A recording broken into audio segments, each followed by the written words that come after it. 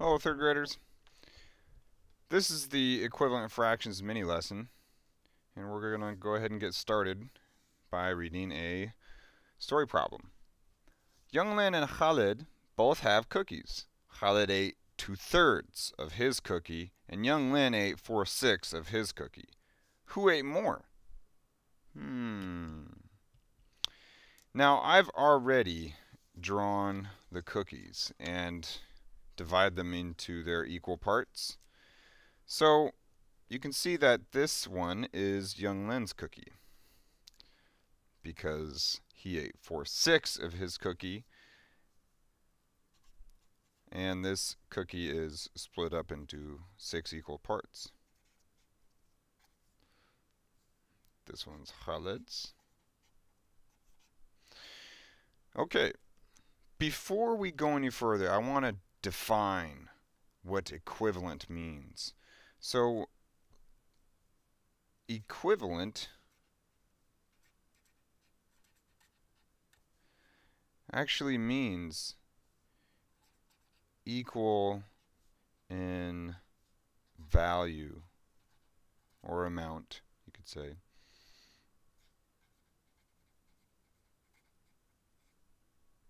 Uh, equivalent means equal in value. Now, when we are talking about equivalent fractions, we're saying that two fractions or more than two fractions are exactly the same. So uh, I'll, I'll actually write more about equivalent fractions later. Let's go over this story problem really quick. Young Lin and Khaled both have cookies. Khaled ate two-thirds of his cookie. So let's go ahead and color code and shade what uh, Khaled has eaten.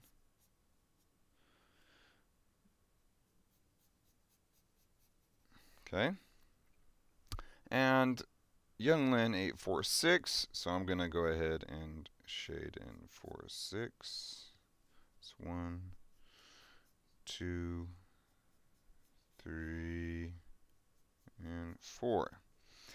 Now we need to see, we're trying to find out who ate more. I actually have some blocks that will help us out. Um, in this case, in Khaled's cookie, this would be considered one whole because I have all three equal parts here. Okay. But what Khaled actually ate was two-thirds. For Young Lin, I would need to have 6.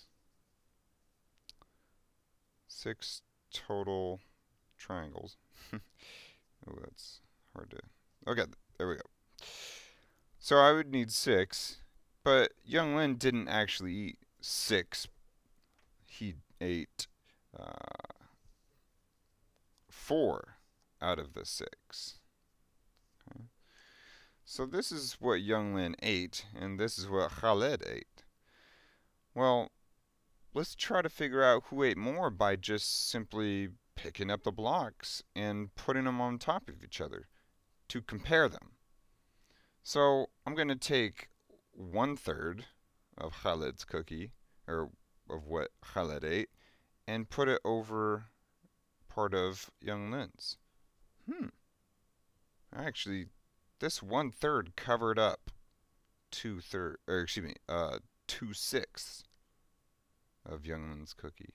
Let's take the other third um, from Khaled's cookie, or what he ate, and let's put it right there.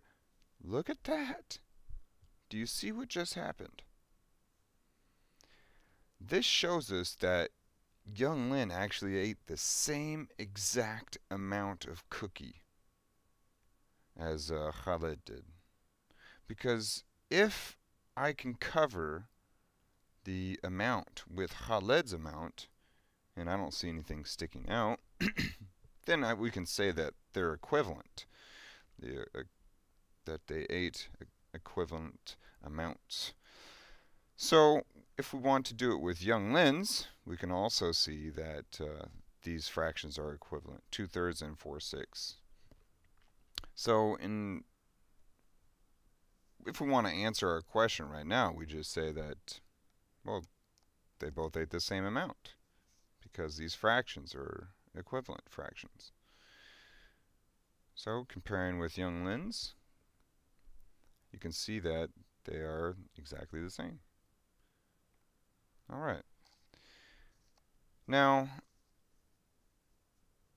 let's take some other fractions and write them down here and like on a test you will have um, a question that will say what what are some equivalent fractions to this fraction?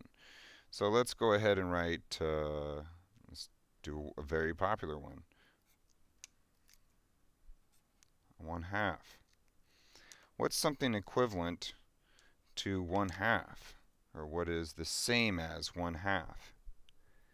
Actually you could almost see it right here if you were uh, looking carefully. You could see that uh, this is actually a half.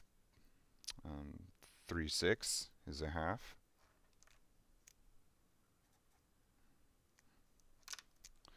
Three six. Let me get the red again. So what else is a equal to a half? There's many fractions that are equal to a half. Yes, you're probably thinking 2 fourths. 2 fourths is the same as a half. And we can illustrate this by drawing pictures or using uh, these hexagonal blocks saying that this is one whole. If I uh, cover this 3 6 up or use three parts out of the six, I can see that's exactly half. Hmm. And for 2 fourths, we don't have fourths here. So if you drew like a cookie or a brownie, you could see that they were equivalent. All right, I hope that uh, explains a little better on what equivalent fractions are.